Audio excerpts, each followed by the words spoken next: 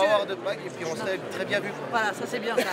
Mais monsieur, ça vient d'où la PAC L'argent de la PAC vient de l'Europe Donc dans quel cadre de l'Union Européenne est la planche à billets qui fabrique l'argent de la PAC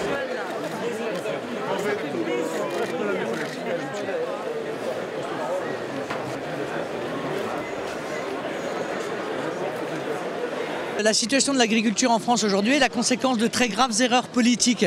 Et en même temps, c'est plutôt rassurant, parce que ça veut dire que si euh, on tourne le dos à ces erreurs politiques, alors l'agriculture française a un avenir. Et elle a un avenir. Elle a un avenir parce qu'on est les meilleurs, parce qu'on est excellent. Il faut que l'État soit à leur côté en les préservant, et notamment en les préservant de la concurrence déloyale.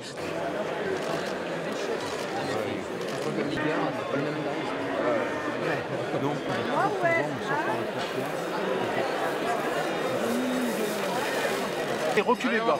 Arrêtez de pousser, monsieur. Allez.